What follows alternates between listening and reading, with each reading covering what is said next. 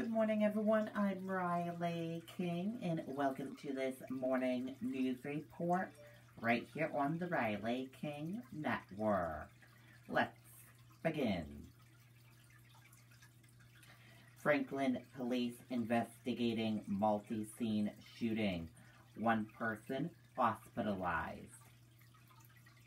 Franklin police are investigating a multi-scene shooting that left one person in the hospital.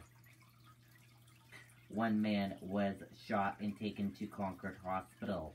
Police said he is expected to survive. Police do not know who shot the man, and the shooter has not been found. Franklin Police Chief said an exchange of gunfire happened earlier in the evening. A lot of people were out. It was very warm, the Franklin police chief said.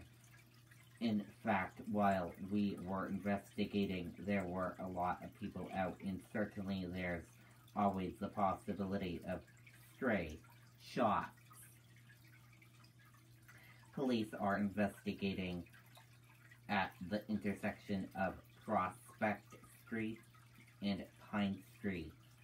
Officers from multiple departments, including state police and the major crime unit, have been at the scene since earlier in the evening.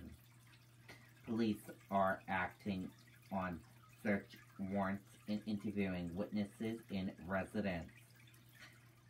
A car was towed from the scene, which is part of the ongoing investigation. Franklin police said they are asking people in the area to be vigilant and report anything suspicious right away. We will update this story with more information as it comes into our newsroom. And that does it for this news report right here on the Riley King Network. Thank you for watching and have a great day, everyone. Goodbye.